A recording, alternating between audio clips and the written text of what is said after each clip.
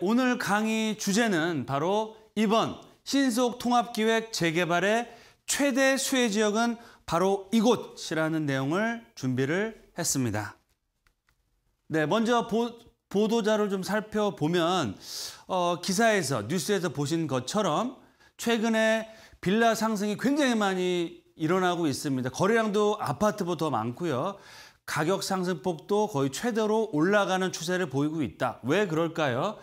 바로 재개발 규제 완화 정책이 나오기 때문에 허름한 주택가, 빌라촌이 앞으로 정말 명품 아파트로 바뀔 수 있다는 기대감 때문에 그렇다라고 볼 수 있겠고요. 서울 빌라 매매가가 월간 상승률 1%대로 급등을 하고 있다라고 보시면 좋을 것 같고요. 특히 어, 지난해 13년 만에 가장 큰 폭으로 상승했고요. 중요한 건 올해 들어서 작년보다 매매가가 더 많이 올라가고 있다라고 보시면 좋을 것 같습니다. 왜 그러느냐? 아파트 가격 다들 아시는 것처럼 너무 많이 올랐죠. 그리고 대출 규제도 심하고 어, 재개발을 규제를 완화하고 서울에 공급을 많이 한다는 얘기가 나옴으로 해서 어, 빌라 거래량뿐만 아니고 어, 매매가가 폭등을 하고 있다라고 보시면 좋을 것 같습니다.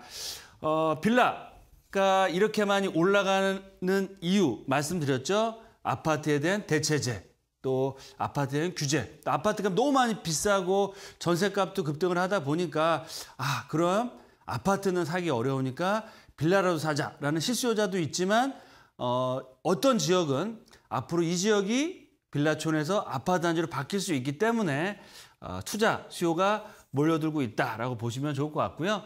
특히 빌라가 많은 강북권 연립주택 빌라 가격이 3억 원을 처음으로 돌파했다라는 내용이 나오고 있습니다.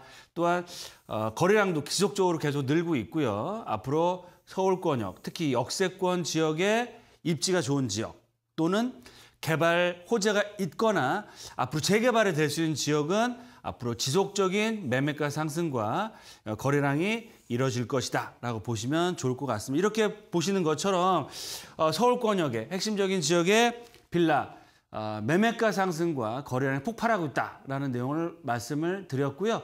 그럼 이번 신속통합기획 재개발의 최대 수혜 지역 어디일까요? 알아보겠습니다. 세 가지 포인트로 말씀을 드리겠습니다. 첫 번째로 어, 신속통합기획 재개발이 정말 대박을 터트릴 조짐을 보이고 있습니다. 제가 말씀드렸죠? 저희 회사 자체적인 투자 또는 제가 투자시켜드린 많은 지역들이 추진위원회가 구성돼서 이번에 어, 신속통합기획 재개발에 어, 신청을 할 예정입니다. 그래서 그런 안내문을 굉장히 많이 받고 있고요. 언론 또는 투자했던 분들의 연락들을 받아볼 때도 아 정말 신속통합기획 재개발의 열기가 뜨겁구나라고 보시면 좋을 것 같고요.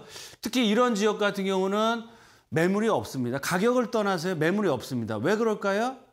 이 지역이 조만간 재개발이 된다고 하는데 누가 매물을 내놓고 팔겠습니까? 그만큼 정말 어, 열이 또 그런 시세가 상승폭이 굉장히 커지고 있다라고 말씀을 드리겠습니다. 두 번째로 어, 그럼 신속통합 기획 재개발 하면 정말 좋고 확정이 되면 대박이 터질 것 같은데 과연 이번 신속통합 기획 재개발의 최대 수혜 지역 어딘지 알아볼 수 있겠고요. 그 지역은 바로 이곳이라는 내용을 말씀을 드리겠습니다. 그럼 마지막으로 어, 신속통합 기획 재개발의 최대 수혜 지역이 어딘지 알아볼 거고요.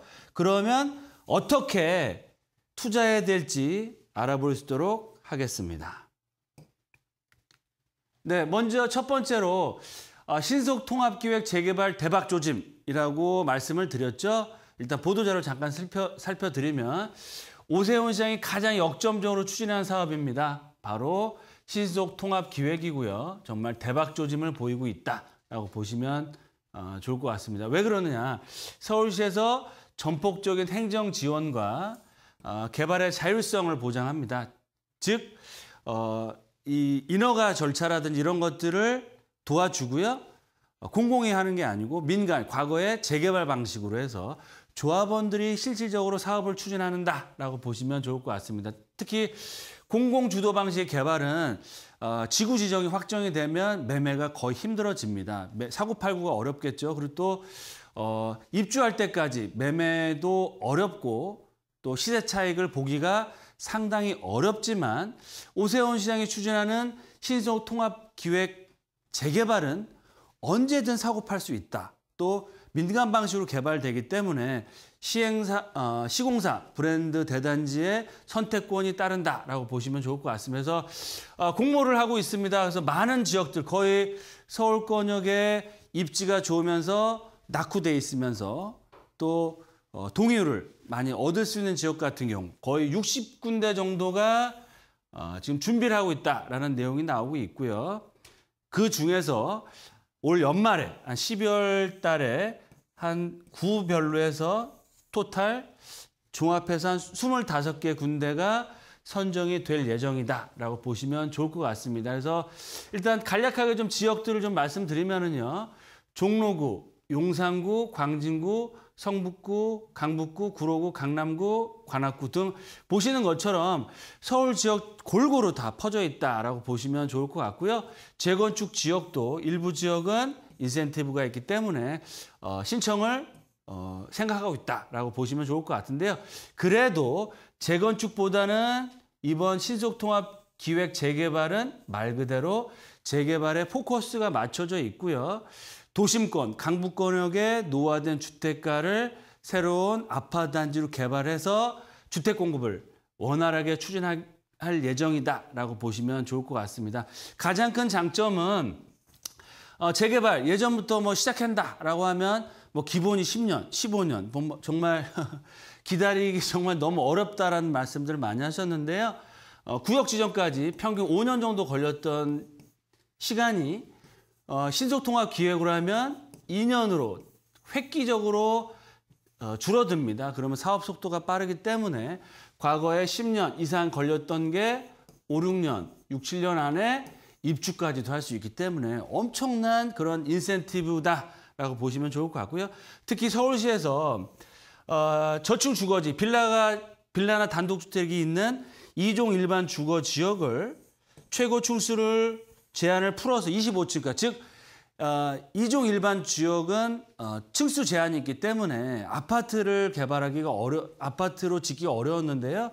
25층까지 아파트로 개발할 수 있게 규제를 완화했기 때문에 정말 입지가 좋은 것 좋은 지역 중에 역세권이면서 단독 다가구 빌라가 오래된 주택들이 섞여 있고 주민들이 아 이 지역 우리 지역 우리 집 개발했으면 좋겠다 그런 열의가 있는 지역은 앞으로 재개발이 정말 빨리 될 수 있다라고 보시면 좋겠습니다. 그래서 정말 많은 지역에서 정말 재개발의 열의가 올라오고 있기 때문에 대박 조짐이 보이고 있다라고 말씀을 드리겠고요. 그럼 중요한 내용입니다. 어, 신속통합기획 재개발의 최대 수혜 지역 어디일까요? 바로 1번 광진구 땡땡땡인데 제가 방송에서도 많이 추천드렸던 바로 자양동입니다. 왜 자양동이 최대 수혜 지역일까요? 일단 첫 번째로는 입지가 최고입니다. 왜 그러느냐? 한강변을 남향으로 바라볼 수 있는 입지이고요. 일부 지역은 재개발을 하고 있지만 일부 지역은 도시 재생산업이라고 해서 재개발을 하기가 어려웠었습니다. 과거에 박원순 전 시장 있을 때는. 하지만 이번에 도시 재생산업 지역도 재개발할 수 있게끔 규제를 풀어줬기 때문에 이제는 개발이 될 수 있다라고 보시면 좋을 것 같고요. 더블 역세 권역에 청담대교, 영당, 영동대교만 넘어가시면 바로 강남의 핵심적인 지역입니다. 바로 옆 지역이 옆 동네가 성수동. 정말 최고가 아파트가 나오고요. 삼성동, 잠실 MICE 센터의 배후 주거단지이면서 더블 역세권, 한강변 브랜드 대단지로 개발될 수 있기 때문에 이번 어, 오세훈 시장이 추진하는 어, 이런 재개발 사업에 가장 큰 수혜를 얻고요. 말씀드린 것처럼 최고의 투자 지역이 될 수 있다라고 보시면 좋을 것 같습니다. 또 한 가지 더 말씀드리면 어, 광진구 자양동 과거에 어, 재개발을 추진했었지만 여러 가지 이유로 해서 진행이 제대로 안 됐었습니다. 하지만 이번 신속 통합 기획 재개발에 그런 합류하기 위해서 일부 지역은 추진위원회가 벌써부터 구성이 돼서 동의서를 거뒀고요. 일부 지역은 30%를 넘겨서 거의 50% 가까이 지금 동의서를 거둔 상태입니다. 그래서 요번에 어, 신청을 이미 했고요.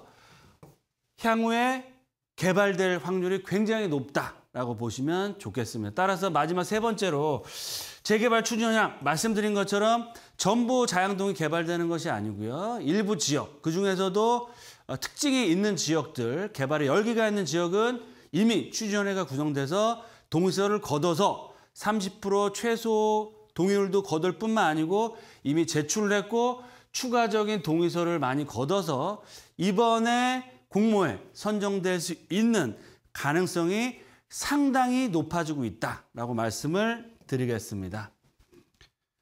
그럼 마지막으로 광진구 자양동이 이번 신속 통합기획 재개발의 가장 큰 수혜 지역이라고 말씀드렸죠. 어, 지난 방송을 보시면 아시겠지만 제가 자양동 지역 추천을 많이 드렸습니다. 그래서 많은 분들이 투자를 하셨는데요. 이번 동의서 또 다 내신 상태고요. 그럼 세 가지를 알아볼 텐데 어, 광진구 자양동 어떻게 접근하고 투자를 해야 될지 첫 번째로 신속 통합 기획 재개발 확정 가능성이 어떻게 되느냐 말씀드렸죠. 추진회가 올 초에 벌써 생겨서 동의서를 30% 이상 걷고 지금은 50% 이상 걷어서 그 확정 지으려고 하고 있다. 따라서 가능성이 크다 적다 엄청나게 크다라고 보시면 좋겠습니다. 두 번째, 그럼 지금 투자해야 될까? 어떻게 해야 될까요? 하지만 지금은 투자를 하실 때 조심하셔야 된다. 왜 그러느냐? 어, 신속기획 통합 재개발의 공모 기준 기, 일이 지난달 9월 23일이었습니다. 그래서 일단 권리산정 기준, 즉 아파트를 받을 수 있는 기준일 자체가 9월 23일이고요. 어, 자양동에서 재개발을 추진하는 지역이 이번 12월 달에 선정이 되면 9월 23일까지 집을 갖고 있던 분에 한해서만 아파트 입주권을 준다고 발표를 했습니다. 따라서 만약에 지금 투자를 해서 어, 소유권을 다음 달, 다다음 달에 가져가신다라고 하시면 아파트를 못 받을 수 있는 가능성도 있다. 그만큼 리스크가 있다라고 말씀을 드리기 때문에 그런 12월 달까지 투자를 하실 분들은 12월 어, 달까지 선정이 되는지 안 되는지를 보시고 투자하시는 게 좋다라고 말씀드리겠고요. 하지만 계속 넉놓고 기다리고만 있어야 될까요? 그렇지 않습니다. 다른 또 방법이 있는데 어떤 방법이냐? 바로 세 번째 마지막 이렇게 투자하라라는 말씀을 드리겠는데요. 첫 번째로 어, 자양동에서 어, 재개발이 거의 확실시 되는 지역은 투자를 하시면 좀 어려울 것 같고요. 안 되시면 안 될 것 같고요. 12월 말까지 선정되는지를 보시고 투자해야 되고요. 어, 대안이 있습니다.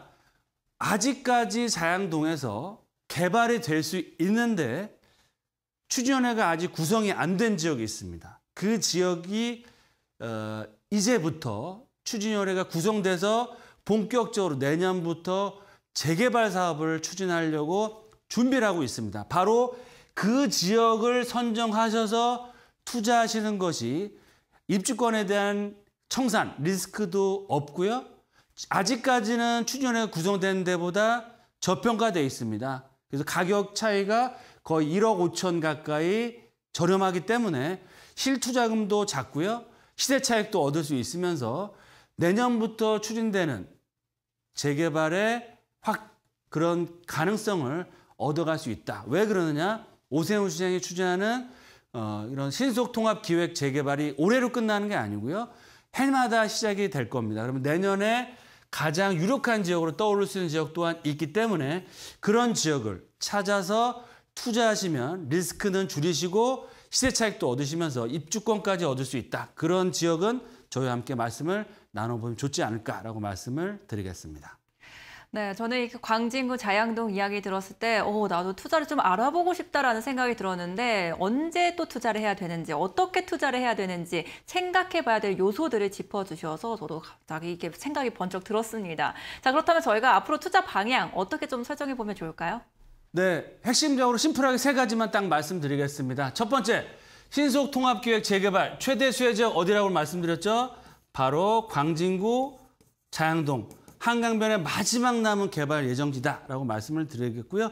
두 번째 리스크가 있습니다. 9월 23일 공모일 기준, 권리산정 기준이 있기 때문에 리스크를 제거하고 앞으로 재개발이 될 수 있는 지역을 찾아서 투자하는 것이 시대 차익, 및 리스크는 없애, 없애면서 시대 차익도 크게 얻어갈 수 있고 지금 추진회가 구성돼서 진행하는 지역은 한 1,500세대 정도 되는데요.